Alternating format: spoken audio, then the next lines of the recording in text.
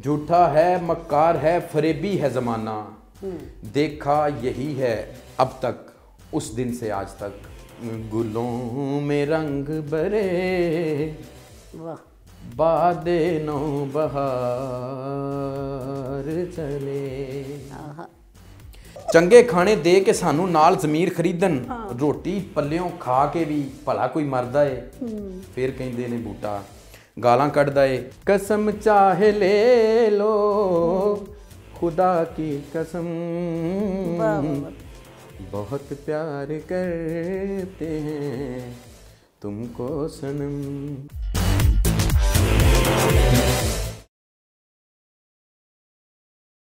السلام علیکم پروگرام فن اور وکیل جسٹ ون ٹی وی اور میں آپ کی ہوسٹ ایڈوکیٹ نرگس ناہید ناظرین آج ہمارے اسٹوڈیو میں ہمارے بھائی ہمارے دوست بہت ہی لرنڈ کونسل اور بہت اچھے رائٹر، بہت اچھے پوئٹ بہت اچھے سنگر ایڈوکیٹ ہائی کورٹ جناب محترم عثمان امتیاز بھٹی تشریف فرمائے ہیں۔ ان سے، ان کی خوبصورت ساری جت، جتنی بھی ان کی یہ کریٹیوٹی ہے جو انہوں نے یہ سارا کچھ کیا ہوا ہے ایکٹیویٹیز کرتے ہیں، آپ سے شیئر کرتے ہیں۔ ایم شیور کہ آپ کو بہت اچھا لگے گا کیونکہ میں نے تو جب سنا، ایک تو ان کی آواز اتنی خوبصورت، پھر ان کا گانے کا سٹائل اتنا خوبصورت اور شاعری اتنی اچھی کرتے ہیں کہ اور اپنی شاعری کرتے ہیں۔ تو میں نے تو مطلب میں بڑی امپریس ہوئی ہوں اور میں نے کہا سر یہ تو بڑی اچھی بات ہے کہ وکیلوں میں ماشاءاللہ اتنے بڑے بڑے ٹیلنٹیڈ ہمارے دوست ہمارے بھائی بہنیں موجود ہیں اور انہیں واقعہ ادھر آنا چاہیے اور آ کے اپنے ٹیلنٹ کو ہم سب دوستوں کے ساتھ شیئر کرنا چاہیے۔ السلام علیکم سر۔ جی وعلیکم السلام۔ بہت بہت شکریہ ینگر برادر آپ یہاں تشریف لے کے آئے اور آپ نے آ کے اپنی بڑی خوبصورت چیزیں ہمارے ساتھ شیئر کیں۔ تو آپ کو ویلکم کہتے ہیں جناب۔ تھینک یو سو مچ جی۔ سب سے پہلے میں آپ کا شکریہ ادا کرتا ہوں۔ جسٹ ون جو چینل ہے ان کا شکریہ ادا کرتا ہوں میں۔ کہ جنہوں نے وکلاء کی جو دبی ہوئی صلاحیتیں ہیں ان کو اجاگر کرنے کے لیے ایک کامیاب کاوش کی ہے۔ اکثر کہتی ہوں کہ جہاں پہ بھی ہمارے وکلاء ہیں پاکستان کے کسی حصے میں بھی ایون ابراڈ وہ تشریف لائیں یہاں پہ آ کے اور اپنے جو ان کی جو ان کی کریٹیوٹی ہے کوئی ان کی ایکٹیویٹی ہے وہ آ کے ہمارے ساتھ شیئر بالکل ایسا ہی اچھا آپ نے شاعر شاعری کرتے ہیں بڑی خوبصورت۔ میں نے آپ کی شاعری ابھی سنی ہے۔ تو کیا بچپن سے کر رہے ہیں شاعری؟ شاعری جو ہے وہ بچپن سے تو نہیں ہے۔ میں فرسٹلی میں نے میٹرک کلاس میں تھا میں سر قاسم صاحب میرے ٹیچر تھے تو ایک میں نے اس وقت غزل لکھی۔ تو لا بالی عمر تھی بچپن تھا میرا۔ بچپن تھا تو وہ میں نے سر قاسم صاحب کو بڑے شوق سے جو ہے وہ میں نے دکھائی کہ میں نے یہ لکھا ہے۔ تو چونکہ وہ ذرا رومانوی تھی تو انہوں نے مجھے کہا کہ مجھے ڈانٹا۔ اور مجھے یاد ہے کہ انہوں نے کہا کہ ابھی بچے ہو تم یہ کیا کر رہے ہو؟ اپنا فیوچر تباہ کرو گے؟ چونکہ اس سے پہلے میں اپنی تحصیل میں ٹاپ کر چکا ہوا تھا۔ اچھا پرائمری میں اس کے بعد میری بہت اچھی سکولنگ تھی بہت اچھا ایک مجھے اچھے لفظوں میں سکول میں یاد کیا جاتا تھا۔ لیکن ٹاپرز بھی رومان بھی غزل لکھ سکتے ہیں لکھ تو سکتے ہیں لیکن انہوں نے یہی سمجھا ہوگا میرے لیے کہ بیٹا بیٹا بھی اب چھوٹے ہیں۔ تو انہوں نے ایک مجھے شعر بھی اس وقت سنایا پتہ نہیں اس کا وہ شعر غلط ہے یا صحیح ہے جو جس طرح مجھے یاد ہے کہ مجھے انہوں نے شعر سنایا کہ ابھی تم طفل مک مکتب ہو سنبھالو اپنے جو من کو۔ یہ توتے کچی فصلوں کو بڑا برباد کرتے ہیں۔ تو مجھے وہ یاد رہ گیا اور اس کے بعد میں ذاتی طور پہ یہ سمجھتا ہوں کہ یہ ان کی اس وقت جو رائے تھی میٹرک اسٹوڈنٹ ہونے کے ناتے وہ میرے لیے وہی فروٹفل تھی۔ اور لیکن اس سے یوں ہوا کہ اس کے بعد میں نے جو کچھ بھی لکھا میں نے پھر کسی کے سامنے اس کو بتایا نہیں۔ کیا میں نے لکھتا رہا۔ کوئی روک ہی نہ دے کہیں مجھے۔ ہاں، تو بس لکھ کے بس۔ لیکن اس کا مطلب ہے کہ شاعر آپ کے اندر موجود رہا اور آپ لکھتے رہے۔ لکھتا تھا میں میرے والد صاحب جو تھے ہاں۔ وہ مجھے والد صاحب ہیں اللہ پاک ان کی لمبی زندگی کرے۔ ہاں۔ یہ ساری میں سمجھتا ہوں یہ صلاحیتیں یہ سارا کچھ مجھے انہی کی طرف سے ملا ہے۔ انہوں نے پنجاب پولیس میں پچیس سال جو ہے سروس دی ہے۔ اچھا۔ اور اب وہ ایز اے انسپیکٹر ریٹائرڈ ہوئے ہیں۔ نائنٹین نائنٹی ٹو ون میں انہوں نے جو گاؤں سے ہمیں شہر میں لے آئے تب ہم چھوٹے چھوٹے تھے پڑھانے کے سلسلے میں۔ تو انہوں نے مرید کے کا چوائس کی تھی مرید کے کی۔ اس کی ریزن یہ تھی کہ ان کی جاب لاہور میں تھی اور جو ہمارا کلٹیویٹڈ لینڈ تھی جو زری جو آنا آنا جانا تھا لوکل جو اپنا ایریا تھا وہ گاؤں حیاتیاں ضلع گجرا والا میں تھا۔ تو یہ ایک انہوں نے مرکز میں سٹے کیا۔ اس ہاں، وقت چلو ادھر بھی آسانی سے جایا جا سکے اور جاب بھی کی جا سکے۔ تو میری جو بچپن سارا جو ہے چونکہ مرید کے ہاں۔ اختر ماڈل ہائی اسکول مرید کے اور اس کے بعد جنا آئیڈیل اسکول اس کے بعد میں گورنمنٹ ہائر سیکنڈری جو وہاں پہ اسکول ہے اس کے کالج میں گیا۔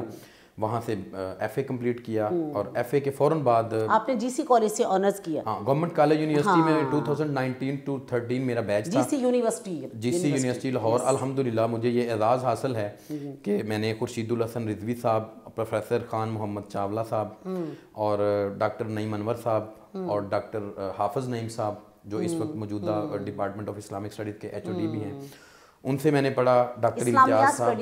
اسلامیات میں یعنی اسلامک اسٹڈیز میں آپ نے ماسٹرز کیا۔ جی،۔ کیونکہ آپ نے بتایا نا کہ آنرز جو کرے وہ چار سال کا ہی ہوتا ہے اور وہ to MA ہی ہوتا ہے۔ ویسے ایم اے پولیٹیکل سائنس بھی آپ نے ایم اے پولیٹیکل سائنس چلے وہ ہمارے خیر فیلڈ میں اور ایل ایل بی کیا۔ ایل ایل بی میں نے کیا۔ اچھا اچھا ویسے ایک بات بڑی مزے کی ابھی آپ بتا رہے تھے کہ یہ جو جی سی میں پڑھ رہے ہوتے ہیں نا بچے جی، جی۔ ان کے ذہن میں سی ایس پی آفیسر ہی گھسا ہوا تھا۔ وہ کہتا ہم نے سی ایس ایس کرنا ہے اور ہم فوراً وہ بتائیے کیا بتا رہے اس کی ریزن یہ ہے کہ وہاں پہ ایک کمپٹیشن کی فضا ہے۔ ہاں، اور آپ جس کو دیکھتے ہیں لائبریری میں لوگ بیٹھے ہیں۔ سینٹرل لائبریری ہے۔ فرسٹ آف آل تو بڑا کوئی میرٹ ہائی ہوتا ہے بچوں کا تو ہی وہ جی سی میں جاتے ہیں نا نا، الحمدللہ مجھے اللہ تعالیٰ نے ایڈمیشن دیا میرے اچھے مارکس تھے۔ تو میں آپ کو کالج میں میں نے ٹاپ کیا ایف اے میں۔ ٹو تھاؤزنڈ نائن میں جب میرا یہ رزلٹ آیا تو میں نے اپنی کلاس میں ٹاپ کیا. کالج کے جتنے اسٹوڈنٹس ان میں سے پہلی میری پوزیشن تھی. تو اس کے بعد گورنمنٹ کالج میں میرا نام آ گیا. تو وہاں پہ میں آیا تو پہلے تو انسان جب گھر سے آتا ہے تو یہی سمجھ رہا ہوتا ہے کہ چونکہ میں کالج کا ٹاپر ہوں اور میں ہی ہوں گا لائق جب جیسے میں گورنمنٹ کالج آیا تو کوئی سرحد بورڈ کا میں نے ٹاپر دیکھا. کے پی کے سے بڑے لڑکے تھے پشاور کے لڑکے تھے سندھ کے مختلف جو پروونسز کے لوگ تھے سارے ٹاپرز اور کریم میں نے وہاں پہ دیکھی تو ایک دم انسان جس طرح سپریس ہو جاتا ہے کہ یار یہاں تو بڑے بڑے کمپیٹنٹ صرف لوگ ہیں۔ میں ہی کلّا ٹاپر نہیں لائنہ لگی ہیں تو وہاں پہ یہی ریزن ہے۔ آپ دیکھتے ہیں کہ چونکہ کمپیٹنسی بہت زیادہ ہے وہاں پہ ایک جو کمپٹیشن کی فضا ہے آپ وہاں پہ دیکھتے ہیں جو بچہ جس سے پوچھیں گے وہ کہے گا جی کیا پروگرام ہے؟ ان فیوچر آپ کیا کرنا چاہتے ہیں؟ یار میں سی ایس پی بنوں گا انشاءاللہ سی ایس ایس کے ایگزامس دے رہا ہوں۔ تو let's suppose C S S نہ ہوا تو پی ایم ایس کے ایگزامس آتے رہتے ہیں وہ دے دوں گا۔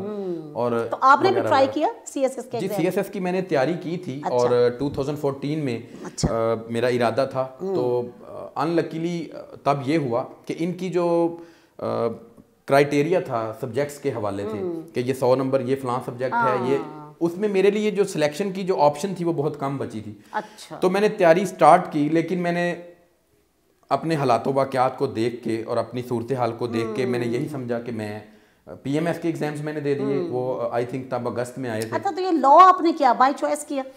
لا اس طرح ہے کہ ابھی آپ کہہ رہے تھے نہیں میں نے بائی چانس کیا۔ بائی چوائس نہیں ہے یہ۔ یہ بائی چانس اس طرح ہے۔ اچھا بائی یہ چوائس کے اگر میں کہوں تو چوائس میرے والد صاحب کی ہے۔ اور میرے لیے بائی چانس ہے۔ مجھے والد صاحب نے کہا کہ بیٹا آپ ایسا کرو سی ایس ایس جو ہے نا وہ بہت سارے لوگ اس میں ڈراپ بھی ہو جاتے ہیں بہت سارے لوگ اس میں ناکامیوں ہو جاتی ہیں۔ میں نے دیکھے ہیں میرے والد صاحب کے کزنس میری جو فیملی ہے وہ کافی ویل ایجوکیٹڈ بیک گراؤنڈ ہے میرے دادا ابو جو تھے ایڈوکیٹ تھے میرے ابو کے ایک چاچو بھی ایڈوکیٹ تھے ان کے بچے بھی ایڈوکیٹ میرے والد صاحب پولیس میں سب انسپیکٹر اور ایک ویل ایجوکیٹڈ فیملی تھی والد صاحب بھی جو ہے وہ ہنڈریڈ پرسینٹ اویئر تھے کہ سی ایس جو سی ایس ایس کے کینڈیڈیٹس ہوتے ہیں ان کے لیے کیا بہتر ہے؟ تو انہوں نے مجھے کہا کہ بیٹا اپنی سیف سائڈ رکھو۔ مجھے گھر میں جو ہے وہ ضرورت بھی ہے ایک وکیل کی۔ تو میں نے کہا والد صاحب سے میں نے ڈسکس کیا کہ کیا بہتر ہے؟ تو والد صاحب نے کہا بیٹا آپ جو ہے نا وہ ساتھ میں ایل ایل بی کر لیں۔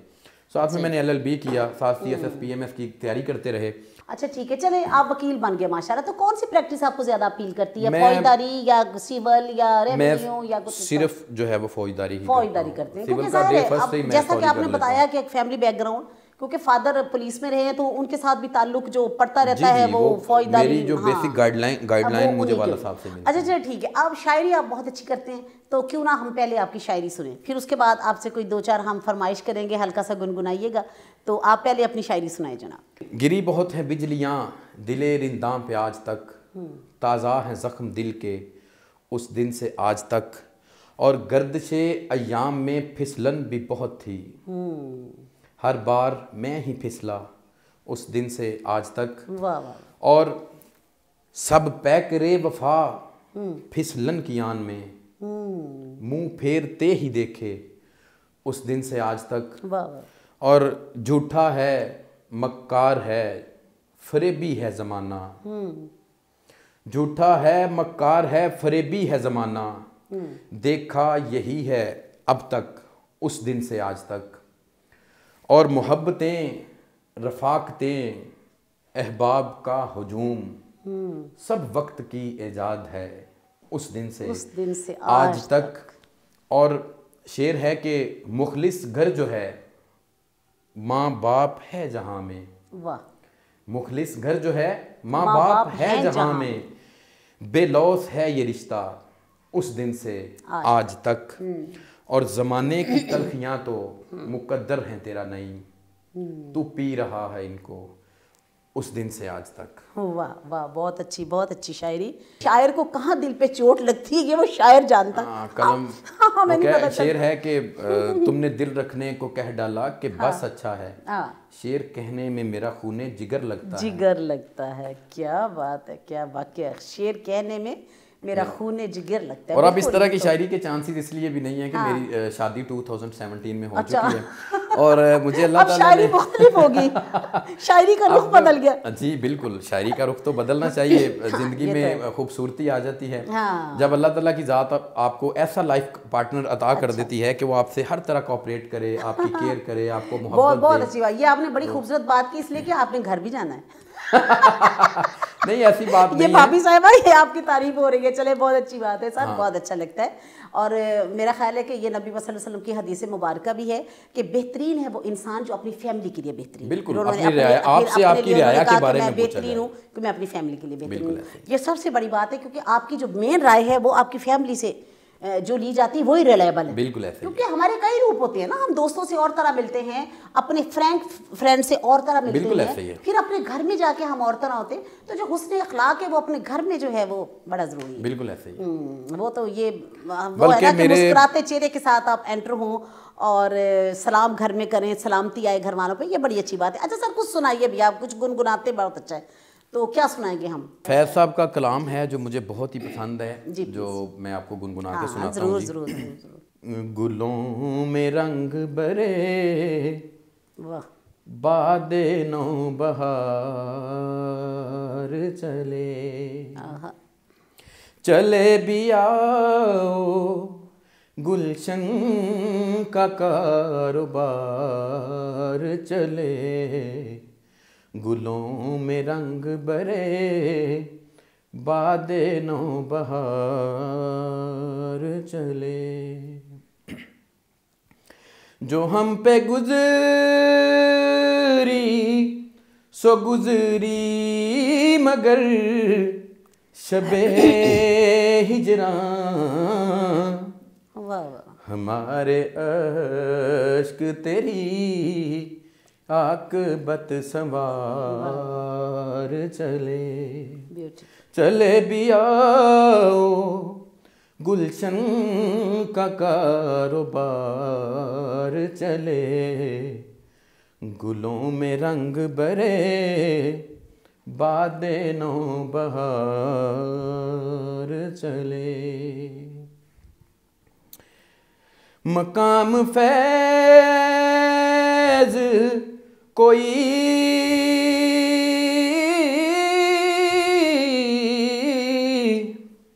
مقام فیض کوئی راہ میں جچا ہی نہیں۔ جو کوئے یار سے نکلے تو سوئے دار چلے۔ چلے گل گلشن کا کاروبار کیا ہر چلے۔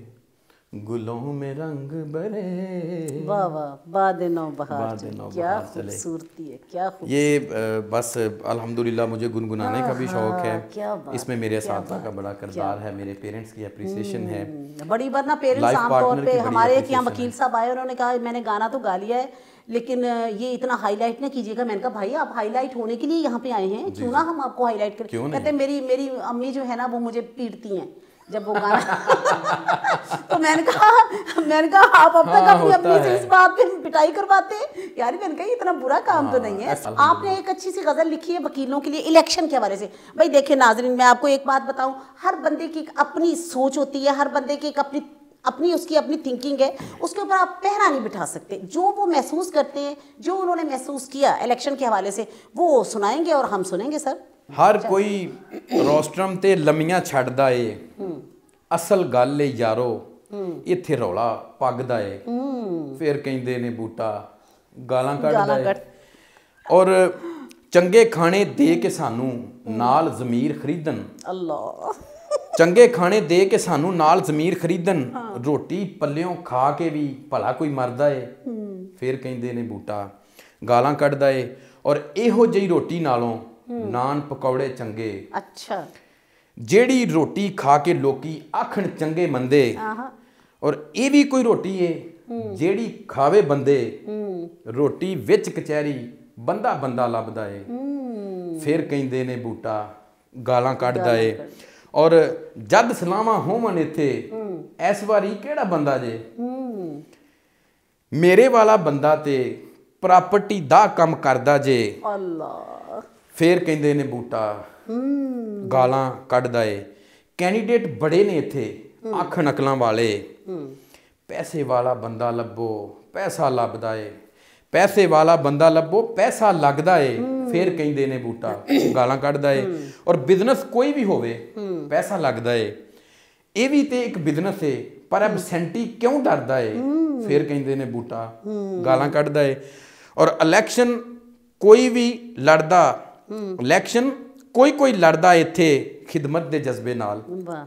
ਇਲੈਕਸ਼ਨ ਕੋਈ ਕੋਈ ਲੜਦਾ ਇੱਥੇ ਖਿਦਮਤ ਦੇ ਖਿਦਮਤ ਦੇ ਜਜ਼ਬੇ ਨਾਲ। ਅਕਸਰ ਪੈਸੇ ਲਾ ਕੇ ਇੱਥੇ ਕੁਰਸੀ ਲੱਭਦਾ ਏ। ਫਿਰ ਕਹਿੰਦੇ ਨੇ ਬੂਟਾ ਗਾਲਾਂ ਕੱਢਦਾ ਏ।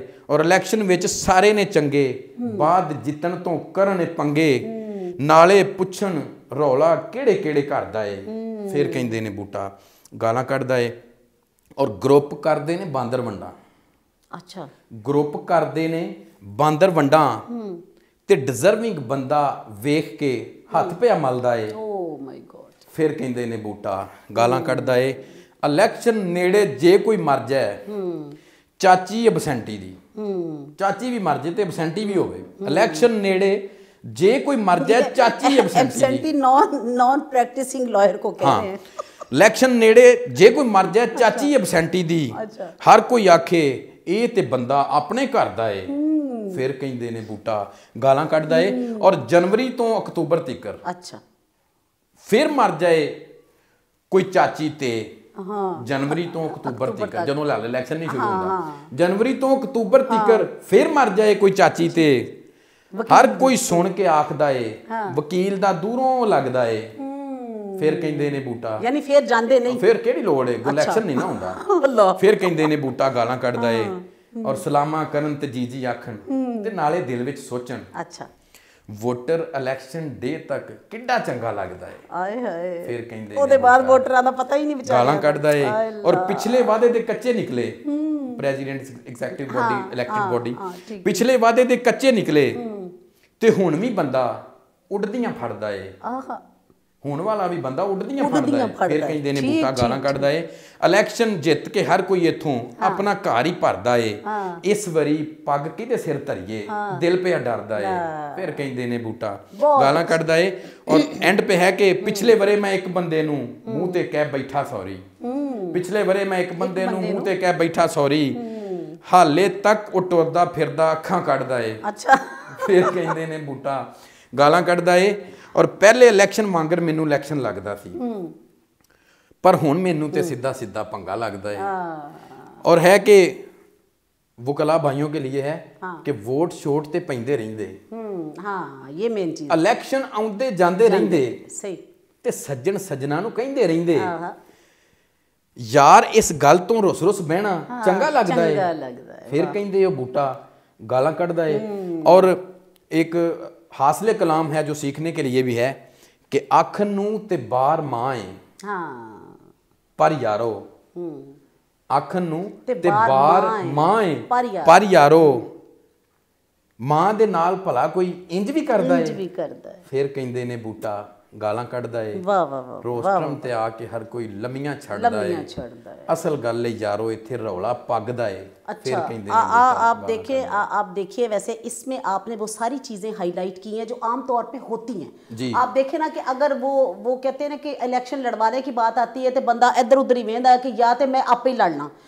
ਜਾਂ ਫਿਰ ਕੋ ਮੇਰਾ ਜੂਨੀਅਰ ਲੜ ਲਵੇ ਜਾਂ ਮੇਰੇ ਕੋਈ ਚੈਂਬਰ ਦਾ ਤੇ ਕਮ ਸੇ ਕਮ ਬੰਦਾ ਹੋਵੇ ਨਾ। ਯਾਨੀ ਉਹ ਵਿਚਾਰੇ ਬੰਦੇ ਜਿਹੜੇ ਕਾਰਡ ਲਾ ਕੇ ਬੈਜ ਲਾ ਕੇ ਪਿੱਛੇ ਉਹ ਸਾਰੀ ਸਾਲ ਸਾਲ ਹਾ ਸਾਲ ਕੰਪੇਨ ਕਰਦੇ ਨੇ ਤੇ ਉਹਨਾਂ ਦੀ ਵਾਹ ਵਾਹ ਕਰਦੇ ਨੇ ਤਾੜੀਆਂ ਮਾਰਦੇ ਨੇ ਤੇ ਵਿਹਲੇ ਰਹਿ ਜਾਂਦੇ ਵਿਚਾਰੇ। ਬਿਲਕੁਲ ਐਸੇ ਉਹ ਤੇ ਐਂਡ ਚ ਉਹਨਾਂ ਦੇ ਹੱਥੇ ਤੇ ਕੁਝ ਬੜੀ ਨਹੀਂ ਵੱਡੀ ਆਉਂਦਾ। ਹਕੀਕਤ ਹੈ ਜੀ ਸਾਡੀ ਬੜੀ ਵੱਡੀ ਪ੍ਰੈਕਟਿਸ ਦੇ ਹਕੀਕਤ। ਇਹ ਯਕੀਨਨ ਇਹ ਤੁਸੀਂ ਜੋ ਕੁਝ ਵੀ ਇਹ ਸੁਣਾਇਆ ਇੱਕ ਬਿਟਰ ਹਕੀਕਤ ਔਰ ਹੈ bitter ਮੈਂ। ਆਪਣੇ ਇਸ ਪ੍ਰੋਗਰਾਮ ਦੇ ਤਵਸੁਦ ਦੇ ਨਾਲ ਇਸ ਪ੍ਰੋਗਰਾਮ ਦੇ ਤਵਸੁਦ ਦੇ ਨਾਲ ਮੈਂ ਸਾਰੇ ਸੀਨੀਅਰਸ ਨੂੰ ਰਿਕੁਐਸਟ ਕਰਾਂਗਾ ਹੁਣ ਅਸੀਂ ਵੀ ਆਹਿਸਤਾ ਆਹਿਸਤਾ ਵਕਤ ਦੇ ਨਾਲ ਨਾਲ ਸੀਨੀਅਰ ਹੋ ਰਹੇ ਹਾਂ ਕਿ ਆਪਣੇ ਜੂਨੀਅਰ ਨੂੰ ਅਕਮੋਡੇਟ ਕਰਨਾ ਸਿੱਖੋ। ਉਹਨਾਂ ਨੂੰ ਲੀਗਲ ਐਡਵਾਈਜ਼ਰਸ ਤੁਹਾਡੇ ਕੋਲ ਮੌਜੂਦ ਹੁੰਦੀਆਂ ਨੇ। ਇਸ ਤੋਂ ਇਲਾਵਾ ਇਸ ਫੈਸਿਲਿਟੀ ਤੋਂ ਇਲਾਵਾ 3200 ਤੁਹਾਡੇ ਕੋਲ ਛੋਟੇ-ਮੋਟੇ ਕੇਸਿਸ ਹੁੰਦੇ ਨੇ ਤੇ ਹਰ ਵਕਤ ਆਪਣੇ ਮਾਮਲਾਤ ਨਾ ਵੇਖੋ। ਔਰ ਉਹਨਾਂ ਨੂੰ ਇੱਕ ਐਜ਼ ਅ ਟੂਲ ਯੂਜ਼ ਨਾ ਕੀਤਾ ਜਾਏ ਕਿ ਇਲੈਕਸ਼ਨ ਆ ਗਿਆ ਤੇ ਕਾਰਡ ਵੰਡੋ ਤੇ ਇੱਥੇ ਮੇਰਾ ਪ੍ਰੋਗਰਾਮ ਹੈ ਤੇ ਇੱਥੇ ਮੇਰੀ ਗੈਦਰਿੰਗ ਹੈ ਤੇ ਇਹ ਉਹ ਮਾਮਲਾਤ ਬੱਚੇ ਜਦੋਂ ਪੜ੍ਹ ਕੇ ਆਉਂਦੇ ਨੇ ਤੇ ਮਾਪਿਓ ਦੀਆਂ ਉਹਨਾਂ ਨਾਲ ਬੜੀਆਂ ਸਾਰੀਆਂ ਉਮੀਦਾਂ ਵਾਬਸਤਾ ਹੁੰਦੀਆਂ ਨੇ। ਉਹ ਸਮਝਦੇ ਨੇ ਸਾਡਾ ਪੁੱਤਰ ਵਕੀਲ ਲੱਗ ਗਿਆ। ਸਾਡਾ ਪੁੱਤਰ ਉੱਥੇ ਕਚਹਿਰੀ 'ਚ ਲੱਗ ਗਿਆ ਤੇ ਹੁਣ ਅਫਸਰ ਹੈ। ਉਹ ਐਕਸਪੈਕਟ ਕਰਦੇ ਨੇ ਕਿ ਸਾਡਾ ਬੱਚਾ ਕੁਝ ਸਾਡੀ ਹੁਣ ਹੈਲਪ ਕਰੇਗਾ। ਅਸੀਂ 17 ਸਾਲਾ ਐਜੂਕੇਸ਼ਨ ਇਹਨੂੰ ਦਿੱਤੀ ਹੈ ਕਮ ਅਸ ਕਮ ਕਈ 19 ਸਾਲਾਂ ਨੇ ਮੇਰੇ ਜੈਸੇ 19 ਸਾਲ ਐਜੂਕੇਸ਼ਨ ਵਾਲੇ।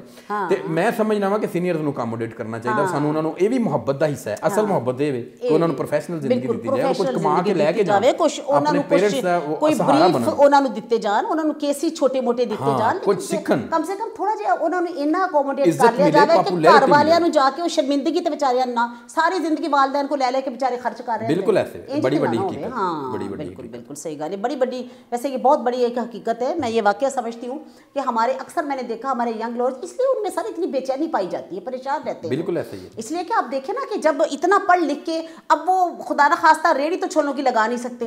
کیا کریں گے وہ؟ پریکٹس ہی کریں گے؟ نا تو پریکٹس کہاں سے ہوگی؟ جس وقت انہیں وہ کیسز ہوں گے تو پھر ہی ہے نا۔